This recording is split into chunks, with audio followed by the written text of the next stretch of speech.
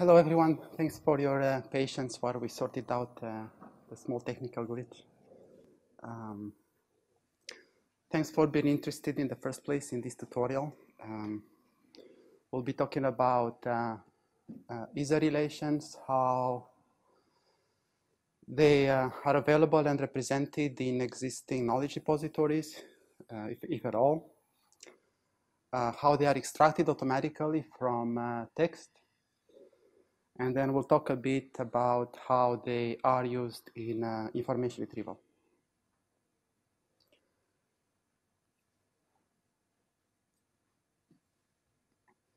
I have been um, I've been working on uh, open domain information extraction um, for a few years now. Um, this is one particular subtopic uh, that I care about in that uh, larger field which is extracting ISA relations from uh, text. Uh, I'm with Google, I'm in Mountain View in California. Um, we'll be going over terminology very quickly. It's going to be uh, lightning speed uh, because I don't think there is uh, much room for confusion. And if there is any, I'll be trying to avoid it just through these uh, two slides or so. Um, we're talking about concepts, um, classes, instances, and ISA relations uh, among them. Uh, a concept, as far as we can tell, is just a placeholder for a set of instances that share uh, similar properties. It's because of the presence of these sets of instances that concepts would probably end up being created in language and they, they end up getting this, what we refer to as class labels, these phrases that are supposed to describe that concept. Um, the example here is a set of movies, individual movies, and probably because they happen to be interesting to enough people over time, then probably in language there is, um, people will come up with some labels for these concepts, which could be one or multiple in case uh, synonymous phrase can be used to, to refer to the same uh, concept. Uh, and ISA relations are just pairs among um, such concepts or among an instance of the concept, um, where the more specific class is linked to the ISA relation to the more general class. Uh, and there are various ways that people refer to, through, to this in literature, to these relations. Um, they refer to them as generalizations or specializations. Uh, one concept to generalize or specialize the other. Or uh, the, the more specific concept would be a hyponym of the more general one, or vice versa, the more general one is a hypernym. Um, or subsumption, um, the more specific one is subsumed by the more general one and, and uh, vice versa. Um, but one of the important properties of this ISA relations or subsumption is that the more specific class will inherit most of the properties, if not all the properties of the more general class, and then it will add some new properties, thereby specializing the more general class. Um, and the relations can be either organized as a flat set uh, that are that are relations that are not connected to one another, or they can be organized into an hierarchy. Uh, so the entire world could be ideally organized into this giant, uh, accurate, fine-grained uh, hierarchy of concepts that would describe any kind of instances or sets of instances in the world, such that instances at the bottom of the hierarchy would be connected to more specific classes and then iteratively to more general classes all the way to the top. Um, as an example, Pulp Fiction, an instance of a movie could be connected to something relatively more specific like American fiction movie or American crime movie, and then that would be connected to crime movie and then movie and so on, going up uh, into the hierarchy. Um, also to avoid confusion, uh, I mentioned instance, and uh, I know that in literature people use different uh, terms for this, but that's not a reason to be worried or to, be confused. Uh, we'll be just referring interchangeably to concepts versus classes. They're going to be the same for us. Uh, instance versus entities, uh, they're going to be the same for us. And hierarchy versus taxonomy, this will be again the same for our purpose. Um, first, we'll be looking at um, resources of knowledge that exist um, that contain ISA relations. And we'll see how these ISA relations are represented in such resources. Um, then we'll be looking, as I said, there's methods for, the, uh, for acquiring uh, ISA relations from text independently from existing resources, or maybe based on existing resources, trying to reach them or something like that. Uh, and then finally, like I said, we'll be touching on how these uh, ISA relations, whether available in existing resources or extracted from text, uh, can be used in um, information retrieval. as far as um, resources of um, ISA relations go, uh, one could think of them as being categorized into two types. One is expert resources created by experts, that means. A small set of people who have high expertise in that field. Um, that means probably you'd expect very high accuracy and reliability and um, interesting phenomena, phenomena being kind of properly taken care of in those resources. But then the downside would be that it's a small set of experts with high expertise, it's a small set, so very hard to scale such resources, to scale them up, to extend them, to grow them, because it's just a few people who are basically the bottleneck um, in expanding such resources. And then on the other side, you have the non-expert resources, which tend to be collaborative. Um, where many people who are not necessarily experts at all in uh, knowledge acquisition or knowledge representation or anything would contribute to these resources uh, more easily expanding them over time. Uh, in theory, of course, such resources could suffer from various problems because these people are not experts, so they, they may not realize uh, deeper phenomena that should be taken care of, but are just glanced over and may affect the resource over time. Um, among expert resources, WordNet is probably the first that um, comes to mind uh, because it really, WordNet really is a taxonomy of the upper level of um, English concepts. These are relatively more general concepts in English. Um, we're not going to discuss WordNet in depth. I assume that everyone here in this room knows about WordNet. Uh, if that's not the case, let me know, but I assume that everyone knows. Um, uh, the key point for WordNet is that it was created by experts and it stayed that way. Um, and what it does, uh, mainly, the key kind of information in WordNet is this organization of English phrases into synonym sets or synsets in their terminology, uh, where multiple phrases having the same meaning will belong to the same synset, and then the synset being organized hierarchically. What we see here is sort of the upside down uh, hierarchy in WordNet. Um, we have a synset, a group of phrases with the same meaning, uh, we have synsets. Uh, so uh, these sets we have, we have uh, definitions associated with them. All of this created by hand, and then again created by hand is this hierarchy, conceptual hierarchy, going in this case going down. It's just upside down, um, all the way to entity, which is I think the top node to which everything eventually floats up in WordNet. Um, WordNet does distinguish between concepts and um, instances uh, we mentioned that. But there is a special relation in WordNet uh, that's called has instance uh, or instance uh, is the opposite. Um, but this is only partially useful because WordNet, um, probably everyone knows, uh, is not supposed to be an encyclopedia.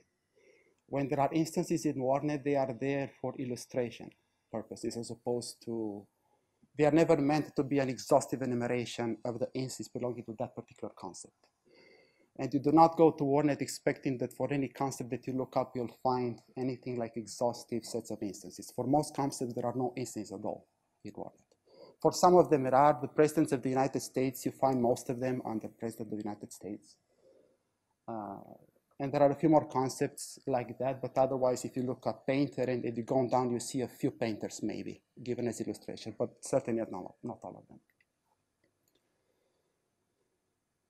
Um, so no expectation of instance in WordNet, that's one key. And then the second key uh, uh, limitation, what could say, um, is that um, one could argue that WordNet is not deep enough. A, concept like company may exist, but a concept like European company may not. A concept like company may exist, financial company may exist, but an American financial company may not. Uh, so there is a clear limit uh, as to how deep uh, WordNet goes across all the possible branches in the hierarchy. Um, Cyc is a very different um, beast of a resource.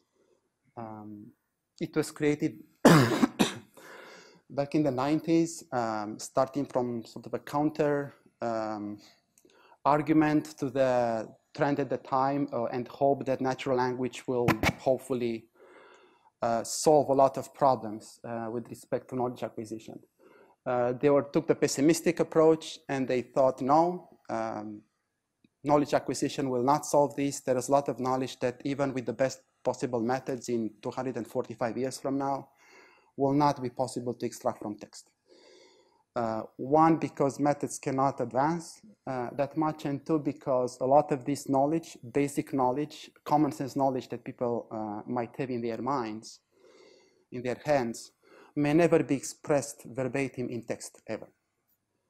Uh, why? Because this knowledge is sort of just so common sense, so basic, that would be almost um, upsetting to someone else to describe it verbally. Um, to express the fact that if you start, uh, if you, um, that a match, uh, if you turn a, a, match on fire, you'll have fire and then you can burn something with it. This is something that's common sense. It's very rare that you'll have this sort of knowledge expressed in text. Or the fact that if you have a ball and you let it off your hand, it's gonna fall. Uh, again, common sense knowledge may never appear in text explicitly.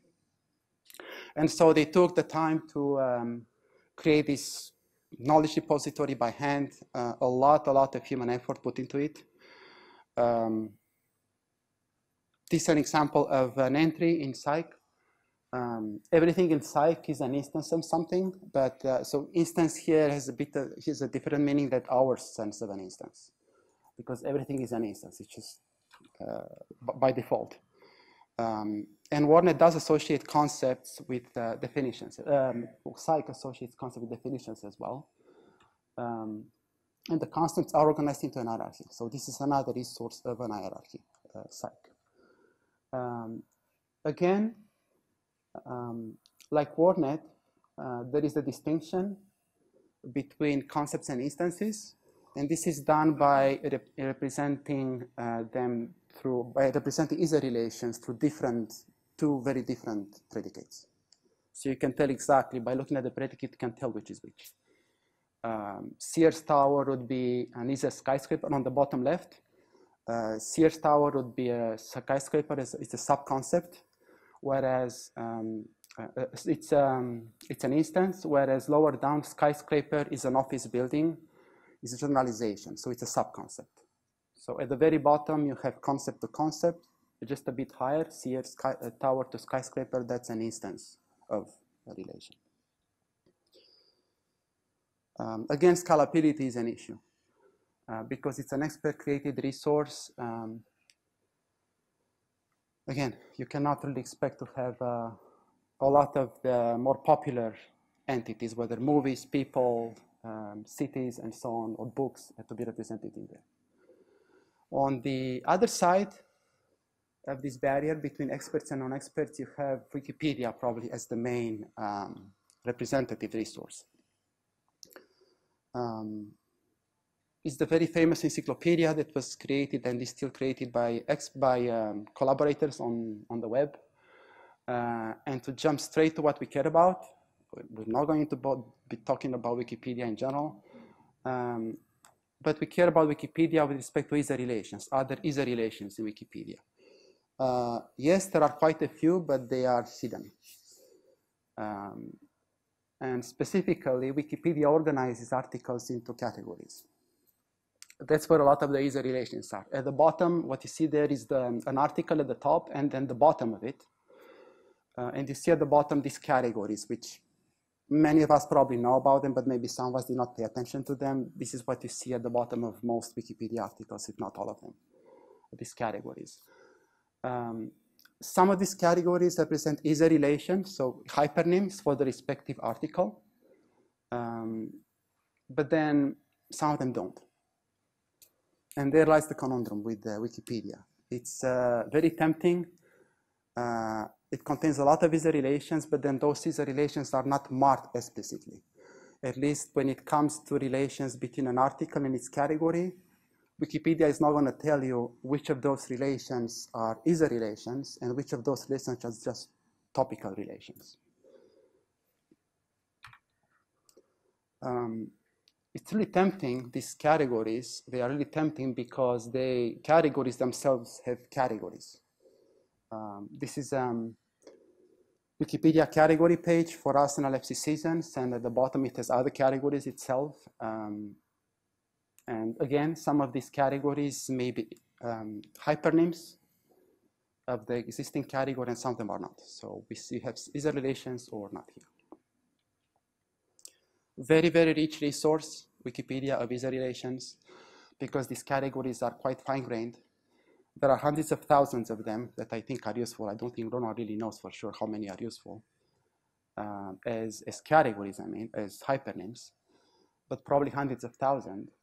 Uh, there are millions of them strictly, but many of them are really correspond to instances. Um, there are categories like uh, Melbourne. Melbourne could be a category. Uh, Google, I think, is a category. Uh, France, Paris are categories. Um, but those, of course, can never be hypernyms. They can never be generalizations of any concept. They can only be hypernyms or instances. So if you take those away, then you would probably still end up with hundreds of thousands of potentially useful categories. The problem is how you can tell which ones are categories versus uh, which ones are concepts through concepts as opposed to instances like Google. And the second problem is how you can tell which of these relations between an article and a category or a category and a parent category, which of them are ISA relations and which of them are not. These are not just philosophical questions. There is a big thread of work, and we're looking at, at it, uh, big thread of work going over time, looking specifically at this task, taking Wikipedia in with the Wikipedia category network, as it's called, uh, like here, and trying to derive an hierarchy out of it. Um, again, here the, the, the, the category network is upside down. So as you go down, you actually generalize. You go from an article at the top, you go to its categories, then to their parent categories and parent categories and so forth. And it's very, very easy to tell, as you can see, that a lot of these edges are not ISA. Some of them are quite nice if you could tell which ones they are, but a lot of them are not. Uh, at the bottom, for example, we have English football club seasons going down into sports on the left, and that's not an ISA relation but then going to the two seasons, that is a, is a, uh, an ISA relation. So you'd have to tell uh, which ones are ISA relations and which ones are not. And people, yeah, very tempting, so people jumped into this task and they've been swimming in it for a while now. Including, this is an exit, this is this is a thread of work that started in 2007, I think, and it's still current. There's going to be a paper at um, CIKM uh, from someone in Zurich who cares about this topic and it's still improving the task of taking Wikipedia and producing hierarchies out of this category to category edges or article to article edges. Um, and then Wikipedia being so easy to scale and just growing over time, uh, apparently effortlessly, um, various efforts try to take Wikipedia, take the unstructured text, mostly unstructured text or semi-structured text available on Wikipedia, and try to convert it into structured data or triples of some kind. Um, DBpedia is an example of such an effort. Freebase is another. Um, roughly, the goal of both of these resources and a few others um, is again to somehow take content on Wikipedia, most of which is just unstructured, the actual text of the article, and some of which is structured. For example, the info box, that little box on the um, top right that many articles have. For example, for a person, it might give the birth date and the place of birth and maybe the net worth and spouse, if any, and children, if any, and so on. Um, that would be semi-structured information already. So take all this information somehow and then convert it, as I said, into triples. Because triples, relations, that's something that machines can then understand and process and do something with them, of course.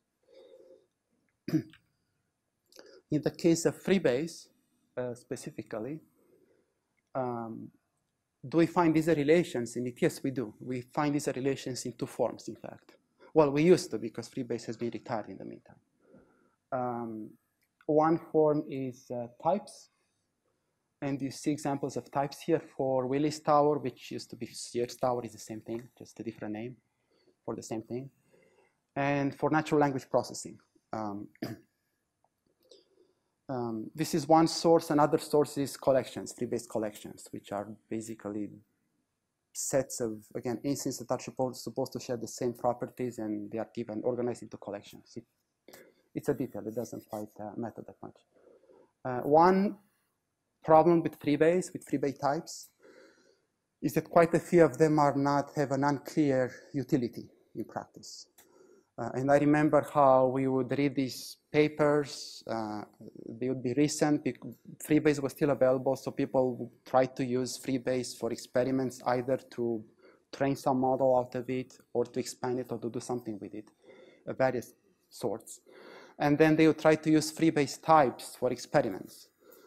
And um, more than once, you would see the authors uh, having to explain how it was difficult to use the types as they were, and so they had to somehow select some of them that made more sense and so forth. Um, part of the problem with the types is that there is no um, um, inherent concept of um, um, notability or utility. Uh, for example, uh, this is not an, an actual example. I'm not. Uh, I don't remember exactly what the example is, but someone like Barack Obama could be listed among violinists, I think. I don't remember this. It's some sort of a player, you know, some, some sort of a player, some instrument. Um, and this could be at least confusing because there are people who do this professionally, and then there is Barack Obama who plays an instrument maybe and not being able to distinguish between these two could lead you to could lead to big problems when you do experiments and when you compute precision and recall, right? You don't necessarily want to extract Barack Obama as an instance of, say, violinists uh, in any system, right? Although he may be playing violin on for, on his own. Um, some other resources derived from um, Wikipedia are OpenMind and then um, coming to the modern times, uh, Wikidata. Wikidata is the latest, um, is the new kid on the block, relatively new. Um, again, the goal is to somehow produce lots of triples um, out of Wikipedia data or maybe some other data. Um, the basic um, the basic building blocks are, as I said, triples. They are property value pairs associated to various items in, the, in Wikidata. Uh, and it's still growing. It's incomplete. If you go and look up various uh, topics of your um, of your choice, um, you'll notice that for many of them, you, you scan the whole entry for in Wikidata, and you'll see that quite a few properties that you think are useful are maybe missing from Wikidata, but it is growing. Um, is a data, yes, there is is a data and Wikidata. Uh, Again, it's actually differentiated in instance to class relations uh, on the right side. But that is the article for the Willis Tower, so Sears Tower. And then on the left, um, you see an example of class-to-class -class relations, which are called subclass of in uh, Wikidata. But there are relatively few, and not relatively, there are really few of such, few such relations, at least for now, Wikidata. Any questions?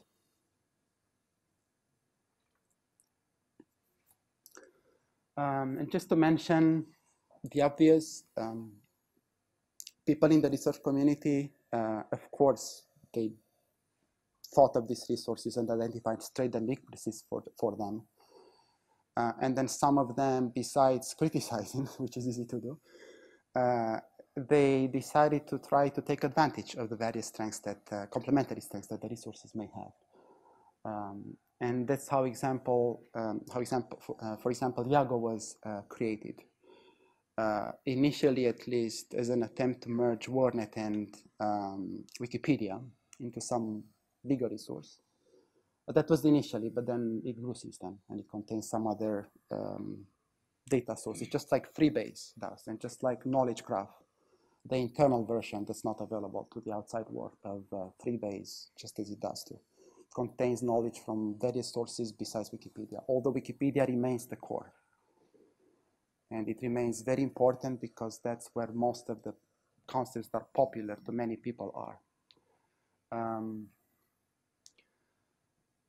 if there are no questions, then we'll be switching to the second part, which is how um, people have thought about um, extracting Sajista relations from text, as opposed to trying to look them up in some resources. Um, the idea is appealing, given the, that the web has been growing, uh, given that there is a lot of text in principle available on the web that could be in principle mined. Uh, there is text of the unstructured kind, just running text, expository text in documents. Uh, then there is semi-structured text available in um, lists um, or tables. And so all of these could potentially contain relations of many kinds that would be useful for other systems later on, including ISA relations, of course. And so people went for it. And what they went for specifically is for three kinds of um, knowledge, one could say. Either for instances within unlabeled concepts, where just have a flat set of instances that are supposed to belong to the same concept or class without, without knowing what the class or the concept is. Uh, then the next level up, you could say, is to extract instances within labeled concepts. So not only extract um, Melbourne and Sydney and Perth, together in a set, um, but then also put some labels for them, something like maybe cities or Australian cities or something like that. And then, I don't know if the next level up, but something that logically would go on top of that would be to organize all this into uh, hierarchies. So rather than have um, independent sets, Australian cities, um, ants, um, Italian sports cars, and so on, try to take all of these uh, sets or maybe label sets and organize them into some hierarchy that would ideally cover the whole, the universe of all concepts in the world that we care about. Um, the most basic step would be something like this, would be extracting um, instances within unlabeled concepts. The purpose of these methods would be to somehow cluster, you could say, uh, objects in the, not objects, instances, let's not confuse ourselves, instances in the world so that they belong to the proper bins. So that they belong to bins where other instances of the same kind also belong. Of the same kind means other instances sharing the same properties. Uh, and they do if you look here. There are diseases on the left and then on the, on the right at the bottom there are countries. Um, all these are instances that are supposed to share common properties. Um, um, there is a bunch of a bunch of literature, of course. I just I list some of the articles here, but then we look at a few of them. Um, uh, we'll be starting with um, work that was done at the University of Washington um, in 2008. And we'll take in this because it's representative for the uh, idea of set expansion. This was uh, again, and some chain of word that was popular for a while. Oh, yes, CMU, CMU, you're right, yes. William Cohen, of course, yes, CMU. CMU. Um, this is representative for um, um, work that was popular for a while in the context of lexicon expansion, um, set expansion, and then later on even relation expansion. A lot of relation expansion work was done uh, at ISI. Yeah, if you are to uh, risk again to name uh, uh, names of universities, um, some of this work was done at um, in Los Angeles at ISI by Patti Pantel. He was a good representative of this kind of work, and we'll be seeing one of the papers by him and some other co-authors later on. Uh, but here, as the title suggests, um, the goal is to take some target class that's available as a set of instances and then to expand it somehow so that you produce a longer rank list of instances of the same kind. So this is that expansion. Um, I get a few TV shows as input, as examples. and then I have to produce a longer ranked list of such TV shows so that the, the list is as large and as accurate as possible, of course. Uh, the data source in this case is text on the web. Um, and as steps, what happens here is that the search engine is used as a black box in the sense that some queries are um, constructed and issued automatically to the search engine. The top N results are fetched for, from the search engine and then processed locally in order to extract some other instances that are supposed to be like the seed instances, that are supposed to be the correct set of um, uh, output instances. Um, Google was used in the in this case, um, and the um, what you see on the left is the input. Like I said, a few instances. And in this case, they are um, examples of camera of camera makers. And on the right, you see a larger uh, rank list that is supposed to be the uh, output of this. Um, and we can go straight to an example.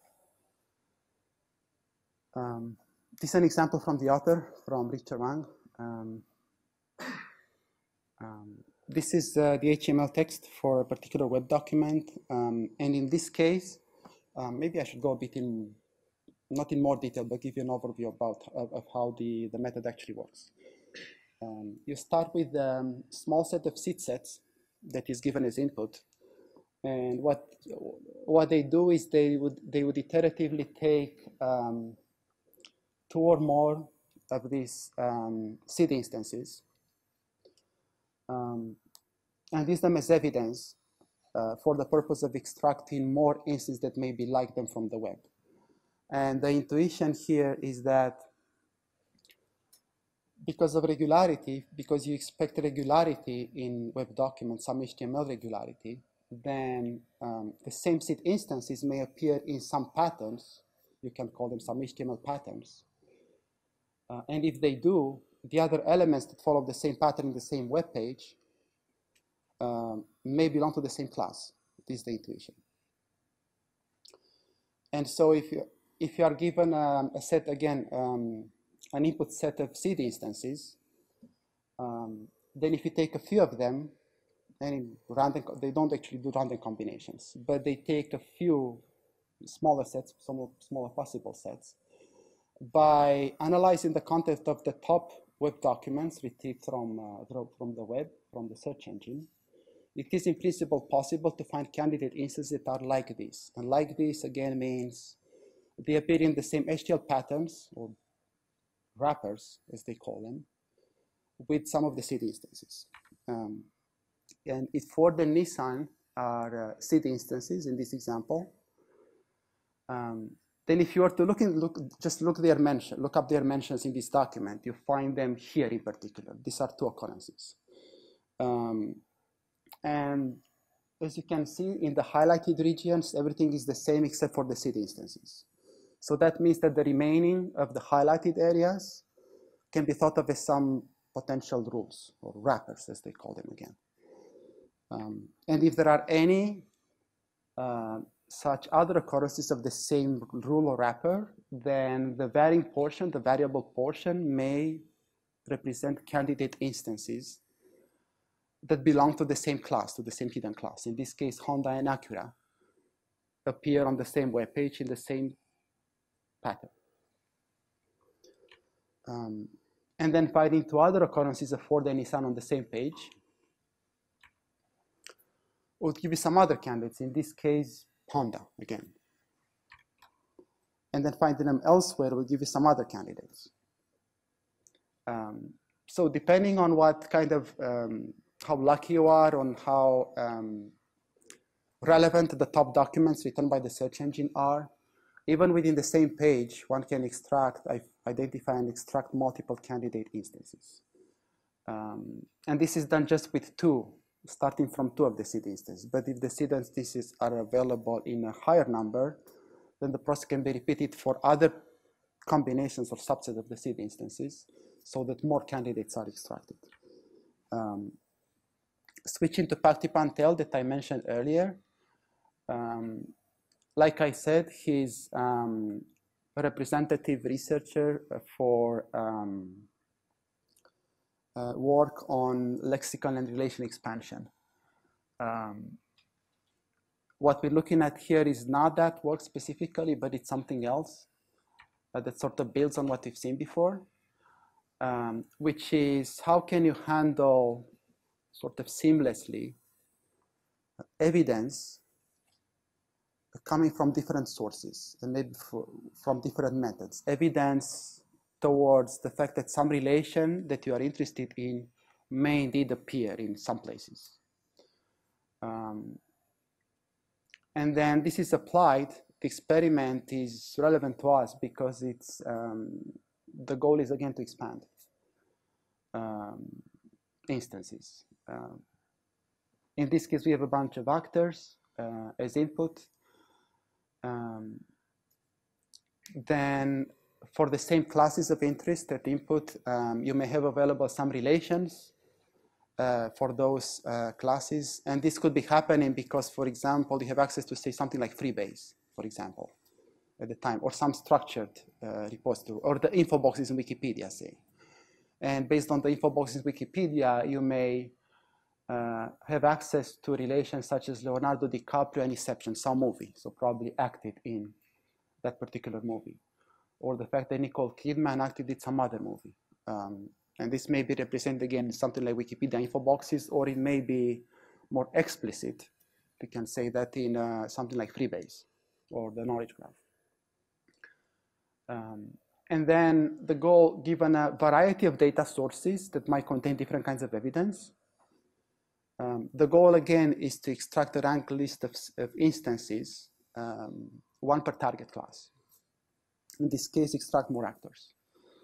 Um, but the resource, uh, the sources are quite different. So you have web documents, you have web queries.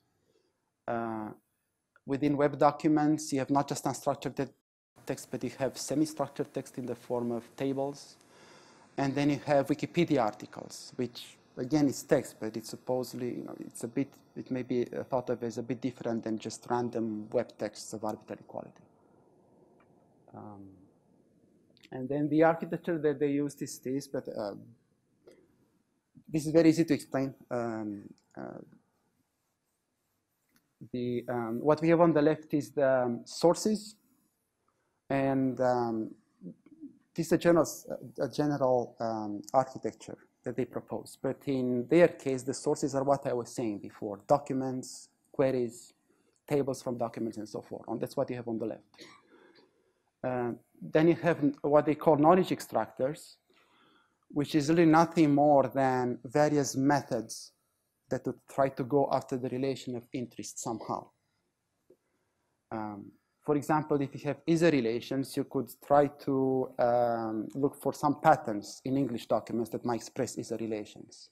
Something like um, companies such as something, or companies including something.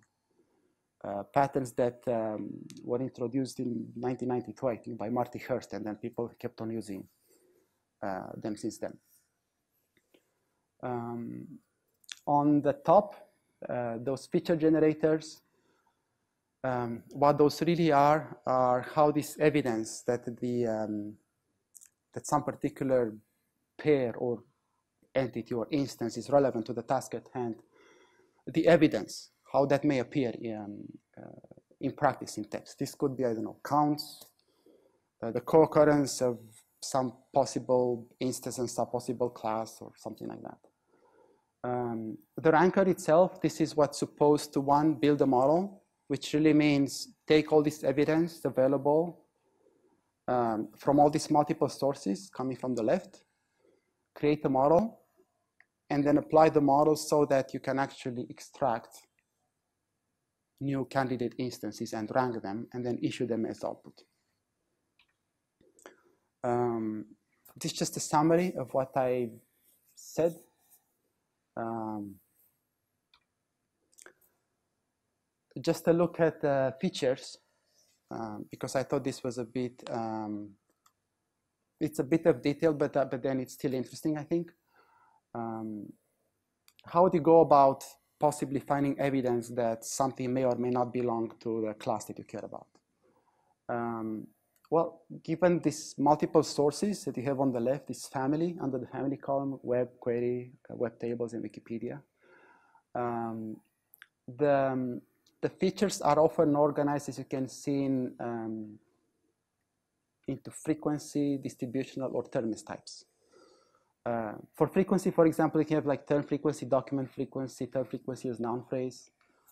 Um, for something like pattern, this could be a pattern as I was suggested before, uh, what people often call, what, what we think of as Hearst patterns because it was Marti Hearst that introduced them uh, back in 1992. Uh, X such as Y and X including I and, and, and so forth. These uh, sort of obvious or uh, highly indicative uh, expressions in English text of uh, pairs of phrases that may be an ISA relation uh, if they appear in a sentence in, in, in that form. Um, and then you have distributional terms and so forth. Uh, the termness one, I wanted to point this out. Um, for termness, this is just an estimate of how likely it is that this particular kind of n-gram or piece of text may actually be an instance of a concept as opposed to just a random n-gram. Um, and um, I think we'll see this a bit later as well. Um, this is something that may we may not think of. Uh, like in theory, this is not something that you care about, but in practice, it is. Uh, because, because in practice, as you process unstructured text or document sentences, if you use a parser or a chunk or noun-phrase chunk or whatever it is, it may make errors. Uh, so you may not know exactly where the phrase starts and where it ends. You only have guesses. Is that the correct one or not? Um, and that's perfect if it's text in a document. But if it's queries, what do you do? In a query, how can you really guess reasonably well where a true phrase starts and ends in a query? In a web search query that in principle could be just like a random set of mixed up keywords, right? It could be a properly well-formed sentence. It could be a proper well-formed question, like what is the capital of Australia? But it could also be just a set of keywords. It could be Australia capital or capital Australia. You don't know what the person really meant when they submitted that particular set of set of keywords, or maybe full sentence or full phrase. Uh, so the termness, this idea of termness, there, uh, that it matters even more. Um, anyway, what they do is that they collect um, evidence from multiple sources, they combine all of it seamlessly. Um, and this was a step forward at the time because we were not quite sure how multiple evidence, again, coming from different sources could be combined in a way that would not, that would not require a lot of fine tuning, in a way that would not uh, make one source dominate others, uh, and so forth. Um, also, Patrick Pantel was involved in this um, other work. Um, this is with Alpa Jain. They were at uh, Yahoo Research at the time.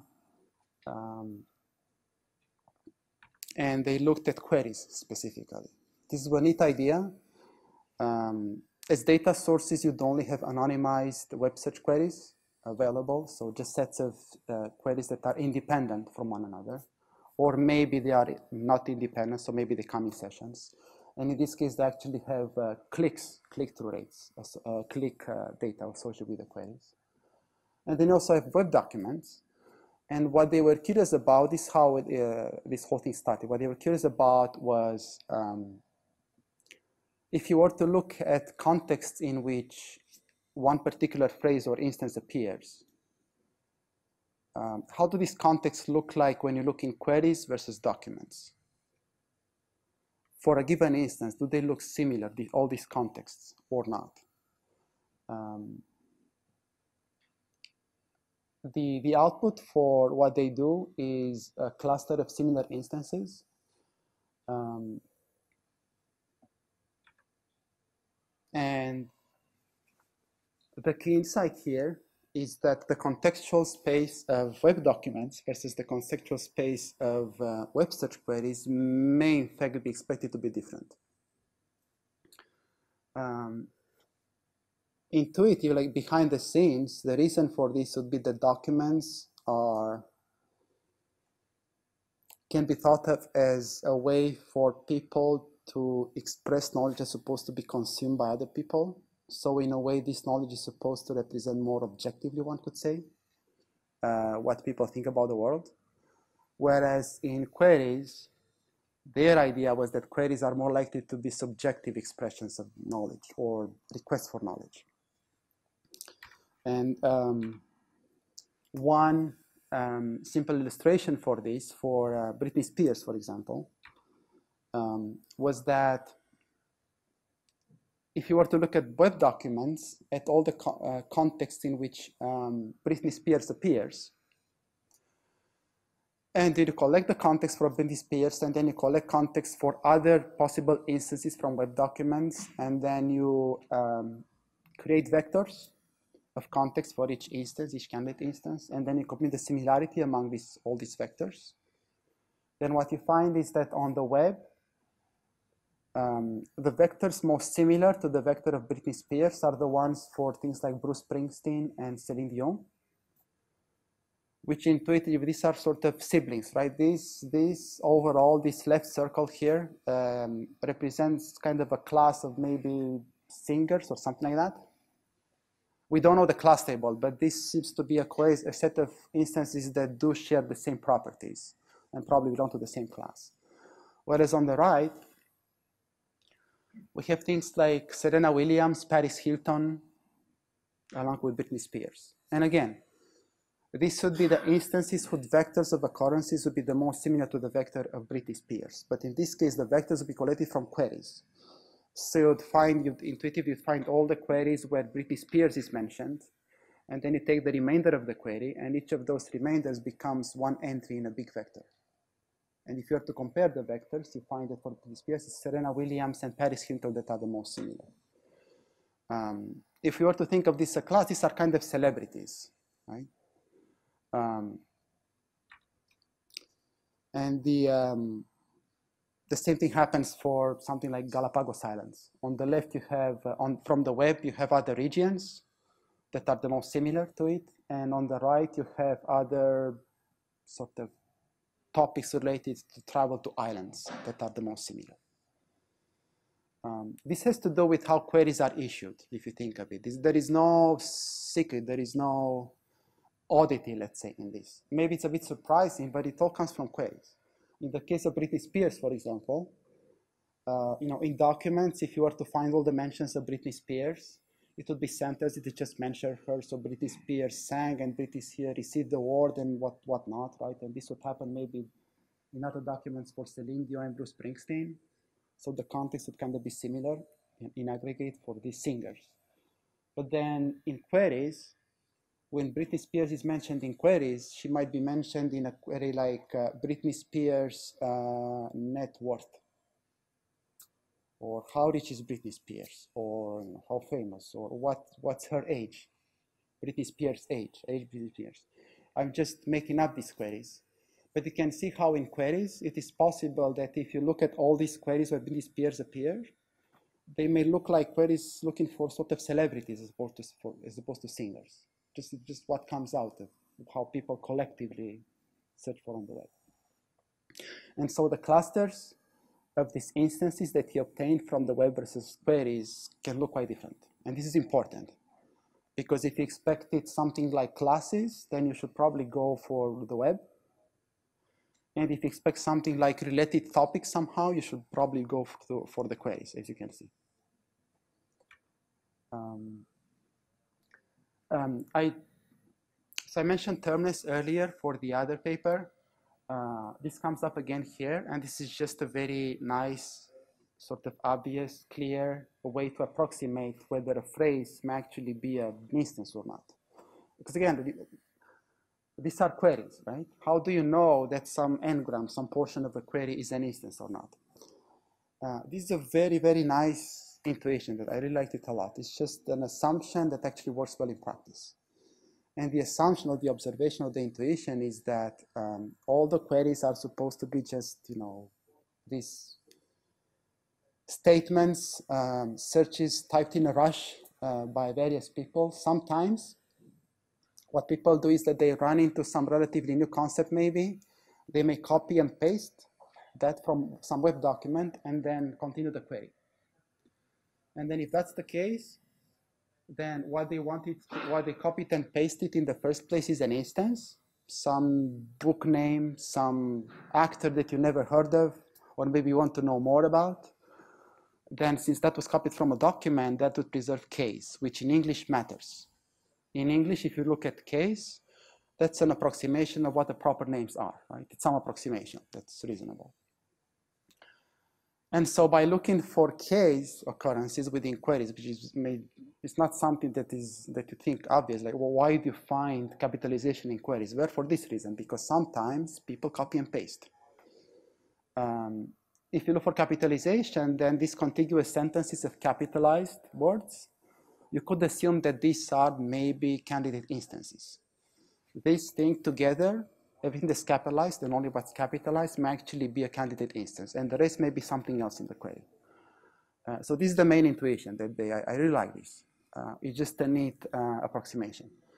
Um, of course, there will be a lot of noise, um, but then they take all these candidates from the web and then they rank them according to some criteria, and then they require these candidates to also appear as full-length queries, as another sort of reasonable sanity check. Why? Because if something like Google is a reasonable instance and it's reasonably popular of interest to enough people, then there will be some people that will submit just Google as a query. People who maybe want to find information about Google, who never heard of it. Same for Melbourne, same for some book that was maybe released last year that became popular, maybe it's not popular, just heard about it from some friend. And then you might type just the name of that instance as a query. It's, of course, there is no rule, no one is forced to do this, but it's something that if you think of it, it's you kind of expect it to happen. Some instances, any instance in the world, if it's important enough to enough people, you'd expect that instance to be typed as a whole full-length query and nothing else. And of course, there'll be some other queries where the instance is contained and something else be, be contained as well. So this is another intuition that they used as another heuristic for how to identify these candidate instances. Again, this may seem like nothing, right? It's not like that interesting for research, but it's a, it's a practical need, right? It's a, especially from queries.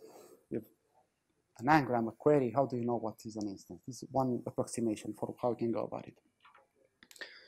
Um, um, as I said, the, um, how each instance is represented is through a vector of contexts.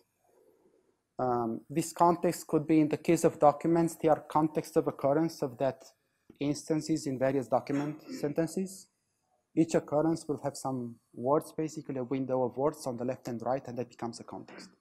Same thing in queries. In queries, you have the phrase accompanied possibly by something else on the left and right. And there is also the click-through data that I said that they had available for this experiment. And then you can create context out of the data too.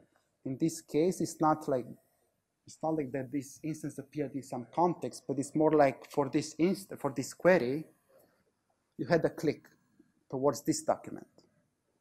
And that document, in some sense, you can think of it as a context. So that particular document becomes one of these elements in, in the vector of that would represent this instance, uh, candidate instance in that space, in the click-through data space. Um, and then in their experiments, the experiments were not about ISA relations specifically, but in the experiments, they were asking people to decide whether given an instance, you, you see you know, something like Britney Spears, and then you see this other phrase, do you think that if you are interested in the first one, you'd also be interested in the second one. So this is just relatedness. It's, this is much looser than ISA relations, of course. Um, but I still wanted to show it because of this last table, uh, I mean the, the, the bottom table, um, because they looked a bit at what kind of um, relations are encoded in these clusters coming from different sources, right? In those columns, what you see is you see uh, CL web.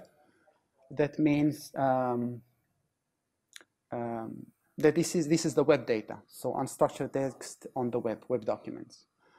Uh, CL context, um, that's I think uh, queries, and then you have the click data, the third column, and then you have the hybrid. You have a mix of all. Um, but if you look at the first and second and third columns, you see how for the sibling row, uh, the highest number is for, for the web.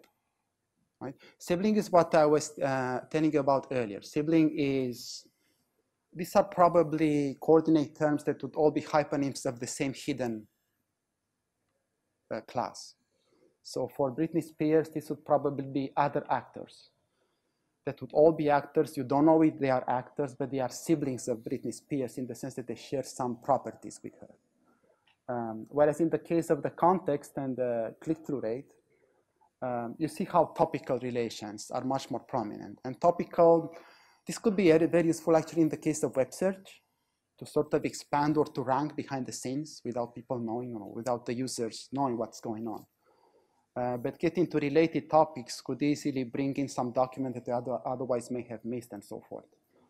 Uh, but if your goal is to extract um, ISA relations or the watered down version here is to extract set of instances that all belong to the same hidden classes, like unlabeled classes, then um, queries or click data is not going to be your main preference for the task because they give you mostly related topics as opposed to siblings.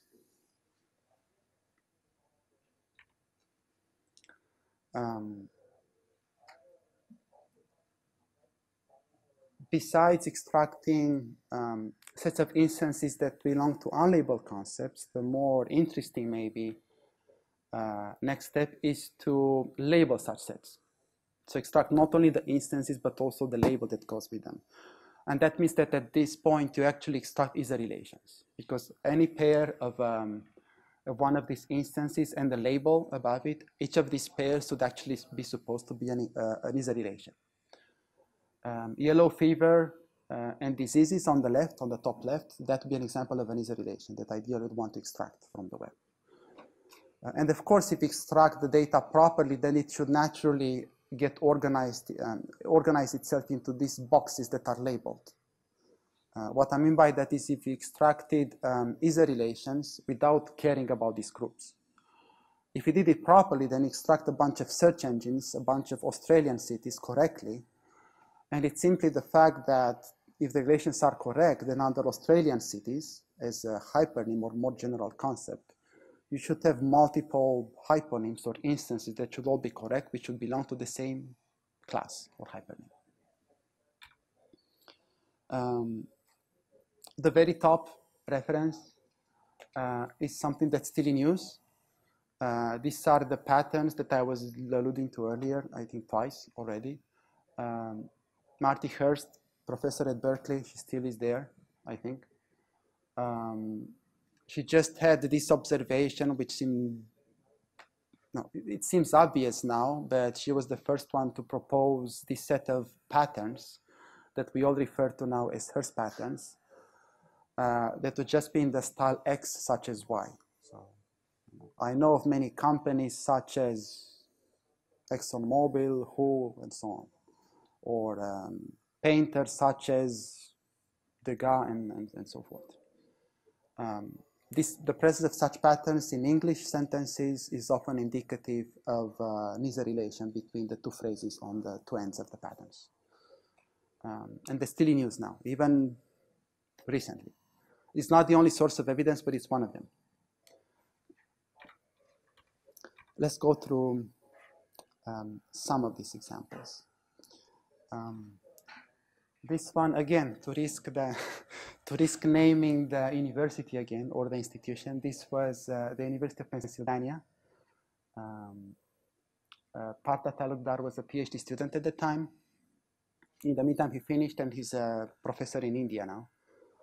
Uh, I'd say quite uh, well accomplished already. Uh, he's doing very well. Um, in this work, um, what he was looking at was how do different types of graph-based algorithms perform at this task of extracting ISA relations.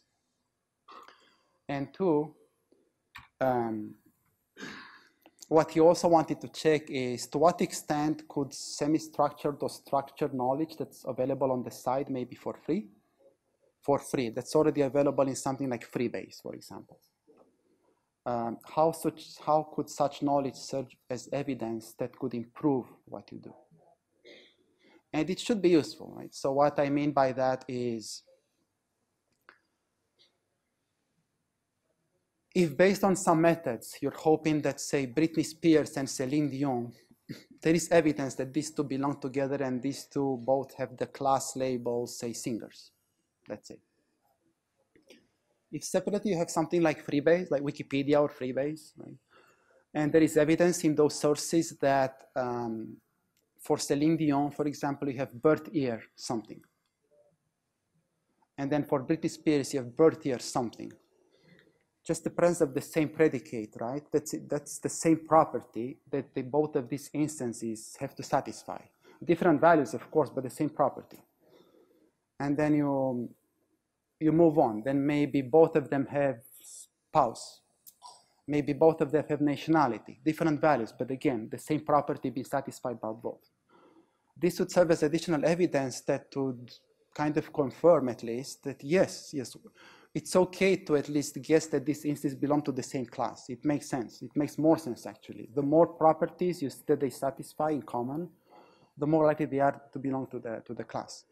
This actually, by, in my opinion, this is like by the very definition of what a class is, right? That's how we started the, the tutorial. That's what I was saying at the beginning, that um, a concept is really a set of instances that, that share the same properties. If someone can enumerate the properties for you, that you're, you're done, right? You're, it's a done job. If you can tell that these two instances have these 75 important properties in common, of course, different values. The same properties, yeah, you're done. They clearly belong to the same class. No, no questions asked. Um, the, um, without going into details, uh, this kind of algorithms this kind of label propagation algorithms would start with, um, this just a representation, um, graphical representation of something that would happen in real, in the real world. So that's what I wanted to show you. You know, set one, set two, this actually could mean something real, which is that the second set could be a set of um, two instances. In, the, in this case, on the right, you see the edges, the outgoing edges uh, towards the right. And this could be produced by um, those Hearst patterns applied to web documents. Uh, you have two particular instances that appear in the same pattern set. And then the first set could be a different kind of source. Could be that in the same table, in the same column, you had these multiple instances on the right appearing as cells. And that's another evidence that the, it's evidence for what? Evidence that these three instances might belong to the same class. You don't really know. You don't know what they are, but they do appear in the same column. That's what this table says about that other table says. That other table says uh, some pattern that says uh, something such as Johnny Cash and Billy Joel, and so forth. Um, you could represent this evidence, this um, how strong the evidence is uh, that these edges apply to some uh, numbers here. Um, there is an edge weight, and this could be anything. This could be, I don't know, the PMI uh, between, I don't know, the hypernym and the hypernym appearing something, or the co-occurrence count, or it could be anything like that, a normalized co-occurrence count. Um, but the, uh, in essence, it's a label propagation algorithm. In essence, you start from a seed label something like musician in this case, and this is input data. So you are told that Billy Joel is a musician, and so you start that way.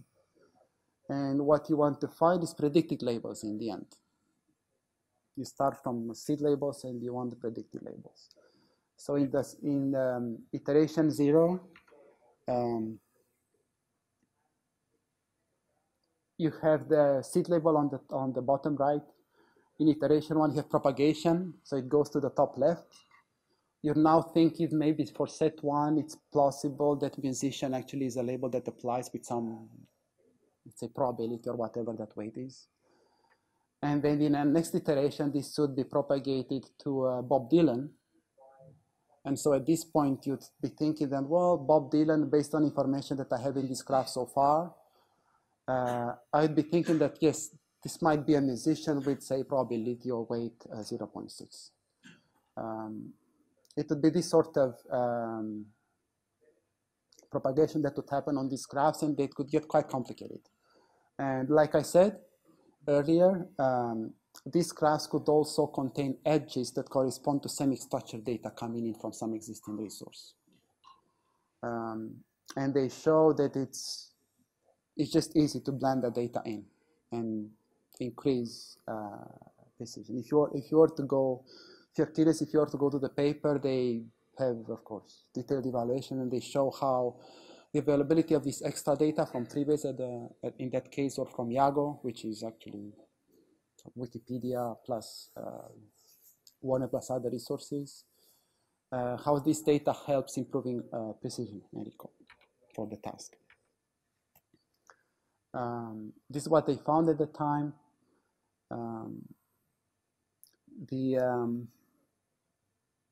is the yellow the, the method that they propose here is the yellow um, bars. That's what they call MAD. Um, and they, they got quite a bit of improvement by combining evidence from multiple sources. Um, TextRunner plus Yago um, at the very bottom in the table on the left. This represents evidence coming from text because TextRunner is an extraction system. This one was from the University of Washington. Um, it's a system that at the time was trying to extract ISA relations from text basically by start, starting from Hearst patterns initially. And then Yago is the source for the semi-structured data, kind of property value pairs.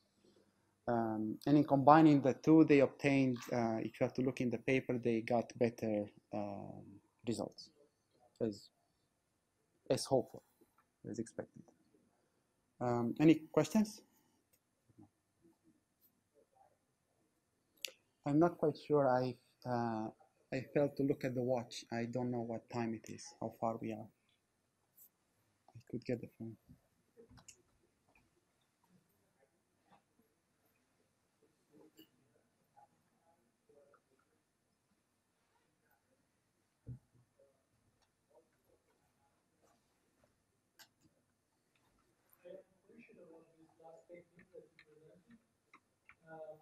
there is a risk if uh, there are no uh, no specific attributes which make a difference to uh, set all the, the, the data in the same set.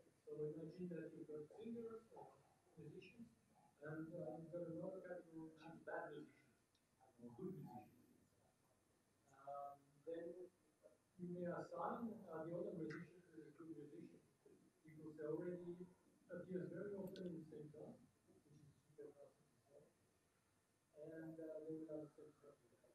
The, um, this is people people thought about this and they um, the sort of obvious or simpler way they they try to avoid this problem is that they would um, they would have conflicting data.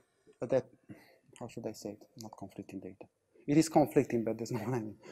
Um, in the, in the input data that they have available, they would be attempting to at the same time extract classes for say actors and uh, buildings and cities and watches and so forth. And they would know that the watch is not a city and the city is not a building and, and so on. And so that means that the input would contain both positive evidence for a given class and negative evidence coming from all the other classes.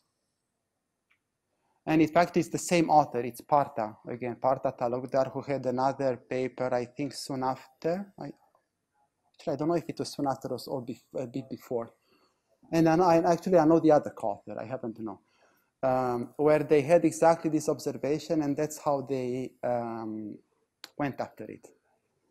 By at the same time trying to solve multiple, not multiple tasks, but trying to fill in multiple classes at the same time where the presence of the other, other classes actually and trying to fill them in helps you filling in any of the individual classes because the others provide some negative evidence not just implicitly, but explicitly. There is competing. They are competing for the same thing.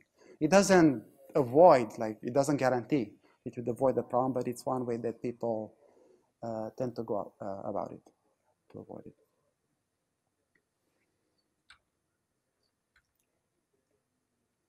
Um, this, this work is more recent. This comes from um, Stanford, uh, from Percy Liang uh, and one of his students. Um, it's quite, um, they set up the problem quite aggressively uh, in the sense that what, uh, what the, you are given is the class table for which you want to extract some instances. in this case, we have something like hiking trails near Baltimore.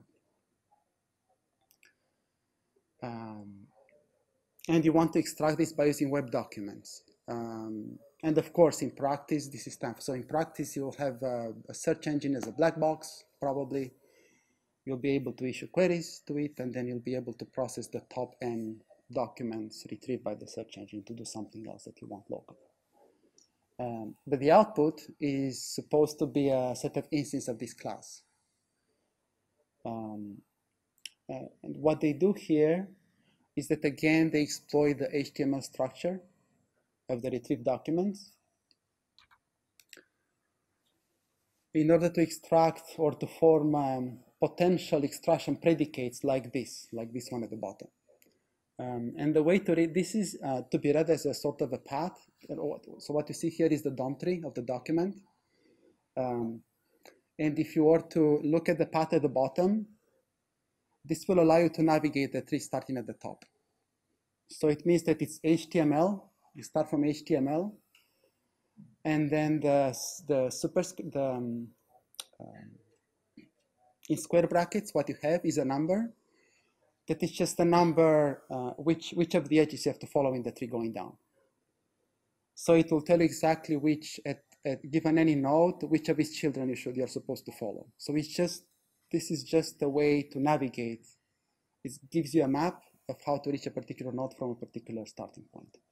Um, not all of these are um, have a script, as you can see towards the end TR there, that doesn't have a script. So that means that you can follow them all. This is the difference. So whenever you reach the point that the TR, that means that from any TR you should be able to, you should follow any TRs, not just the first. Okay. Um, and then given some web page uh, that would be among the top N retrieved by some search engines, uh, whatever the search engine is. Uh, the goal is to somehow, of course, identify regularities in these web pages.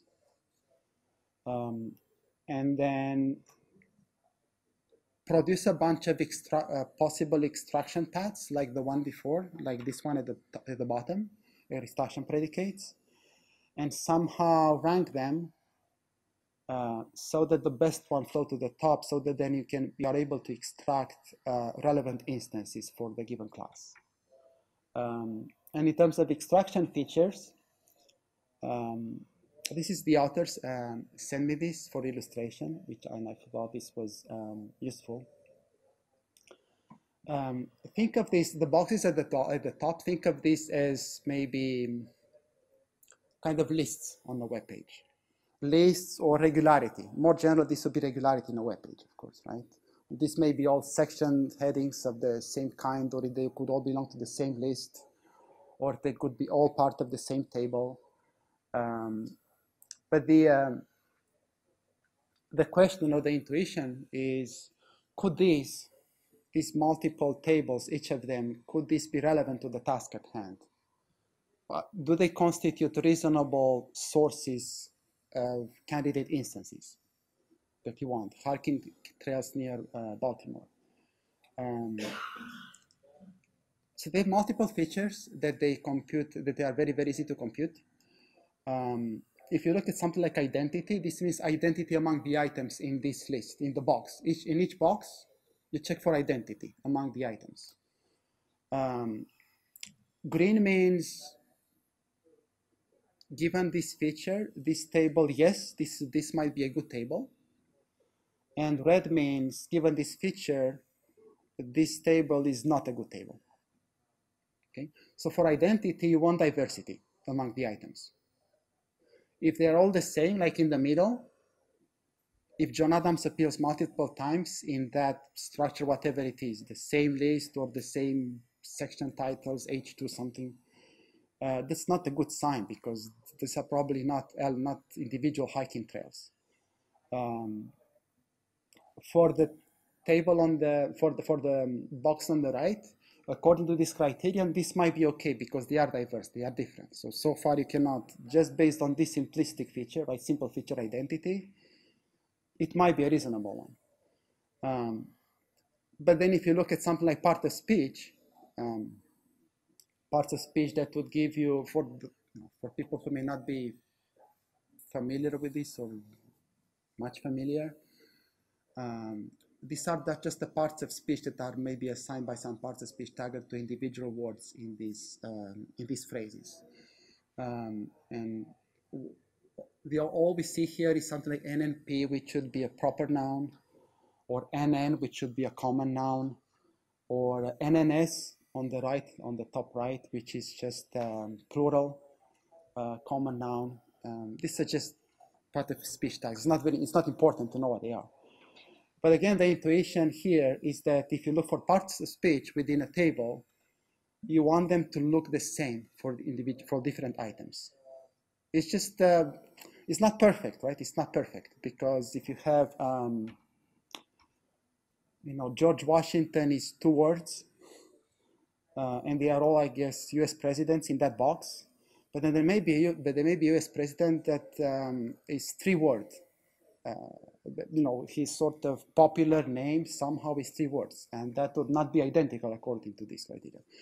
But in, in principle, I then um, having the same sequence of part of speech tags seems like a good, uh, seems like a clue that this is a good table. Whereas on the right side, having a very diverse set of sequences of part of speech tags for these items is probably a bad sign. It's probably a table that you do not want to consider. Um, this is an example of some real path um, that their system produced uh, you can see that it can, it can actually go quite deep in the DOM tree. Um, but for something like Disney Channel movies, you'd be able to extract things like Northern Lights and Admiral Apps and so on. Um, and um, this is just one of the graphs from their evaluation. Um, as baseline, they um, just looked at the most frequent uh, extraction patterns. The extraction patterns or predicates are those uh, paths, right? The, those sequences of uh, HTML tags. Um, and they have much better performance in accuracy relative to the baseline. Both when they consider the entire list of instances they extract, and also they get high precision, of course, if they look at the top five, only the top five instances that they extract, if they don't go all the way down to the entire list. Um, but 40% is quite nice to get if you think of it, because they don't know in advance how many to extract. It's quite important if you think of it, right? Um, you are given hiking trails in Baltimore, but you're not told how many to try to extract. So you could easily go nuts and try to extract 70 million. And if you try to extract 70 million, most, most of the items that you extract will be wrong because there aren't that many hiking trails near Baltimore. Um, so getting 40% when you don't know how many to extract, so you have to go through all the items in your extracted list. That's not at all. Um, there is a detail on how they did evaluation here. Um, for practical reasons, they in the evaluation, they look at them. how to explain this easily? Um, in each of these lists, in the rank list, they look at not at every item in the list. They don't check every item for correctness but they check the first one, the second one, and the last one as an approximation for the entire list. Um, and they do this only because this way um, they don't have to ask people separately to annotate the correctness of the right of the test data. Uh, they don't have to uh, spend too many resources, too much money, and ask too many people for that. So instead of having, if you have a list of 25 items, uh, and you want to check the correctness, when do they, they do that with uh, you know, Amazon Turkers, I think they used at the time, uh, as human annotators. They didn't ask them each, each of these, uh, for each of the items in this list, is this a correct item for this uh, class, for something like hiking trails in Baltimore? Instead, they only asked them, is the first one correct, the second one correct, and the last one correct? So they only had to annotate three as opposed to 25, which saves a lot of time. This is the detail, but again, I I just wanted to point out how details matter in practice, right? They could have easily gotten stuck on this task and uh, like the annotation could never end for like 20 months and they'd run out of their budget. And sometimes in research and also in practice, like in industry, these details could make a difference. Sometimes they make the difference between something happening or not because you don't have the time, you don't have the resources, or, or in practice, not like you don't, but you have limited everything. Um, a paper from two years ago would be trying to also extract ISA relations, but going specifically after tables, uh, web tables. Um,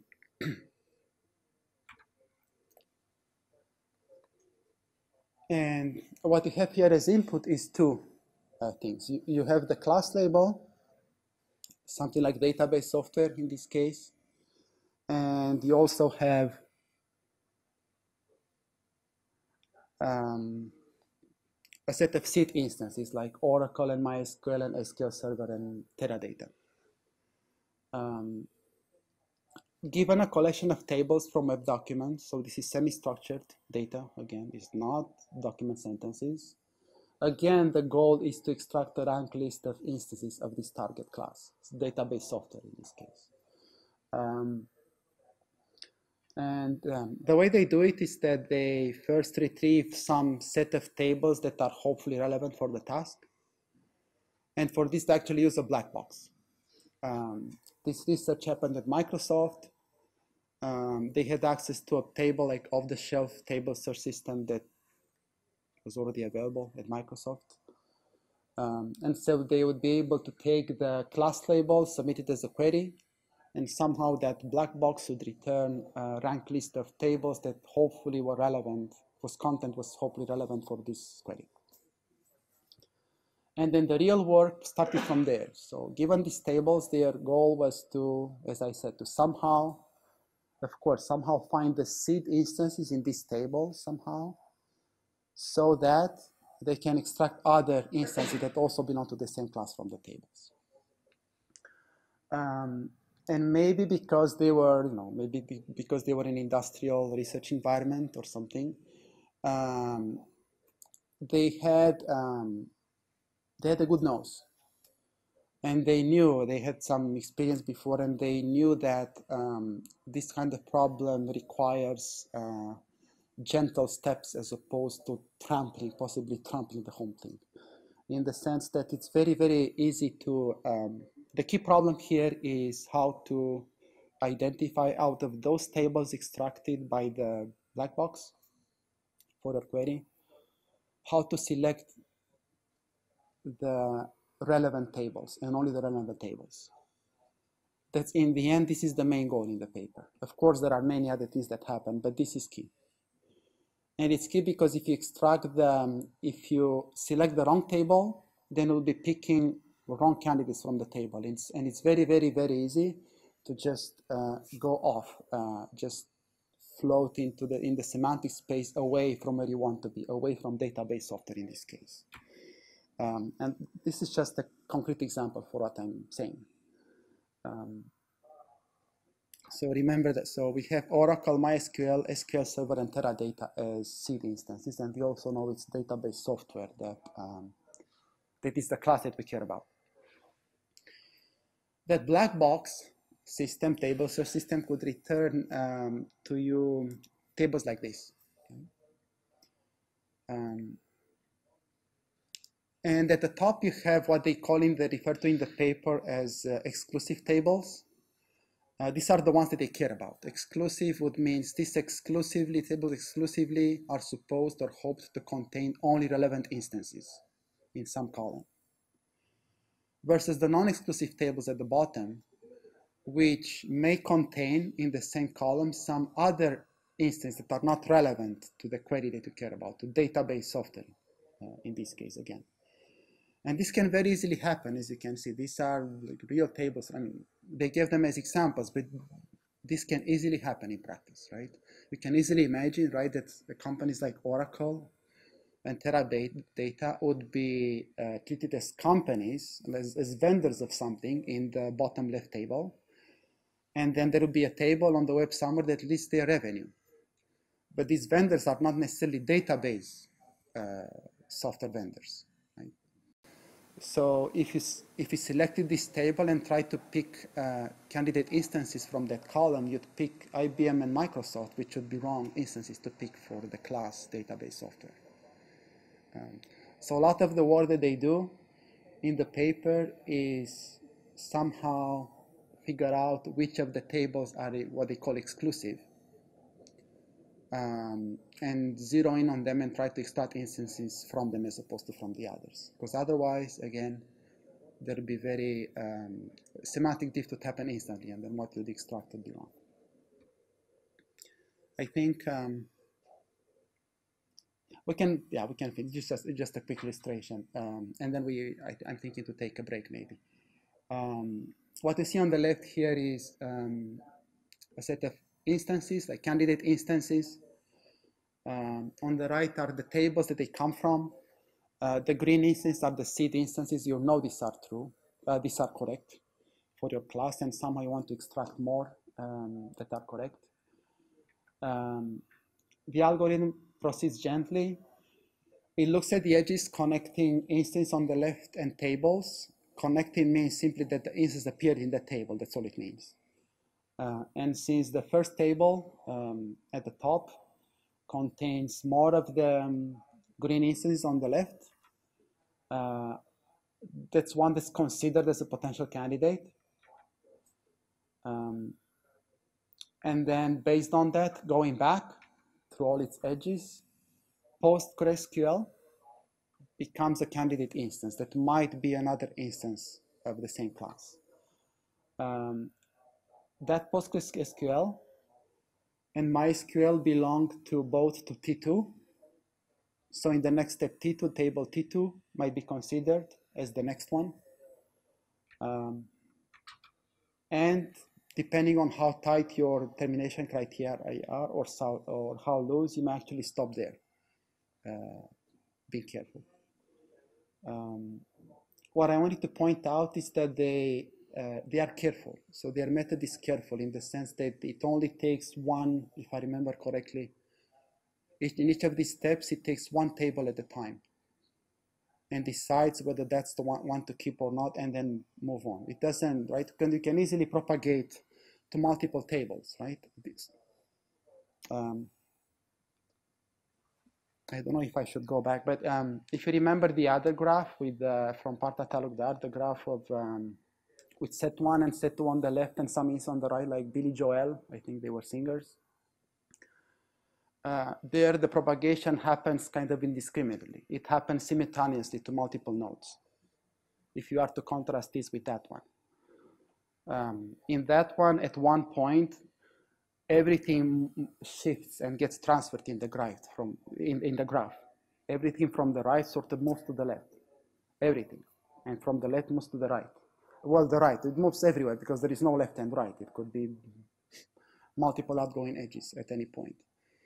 Um, but here they are really careful about semantic if they want to avoid it. So they only pick one. Yes, of course, you explore everything around you, but then you pick one node. And you pick that one node, and then from that node, again, explore the out, outgoing edges, and then you pick another one, and so on. So it just just shows you that we're not quite there, of course, at uh, solving this task. Uh, I'd say that we'll take um, break and then we meet again in half an hour.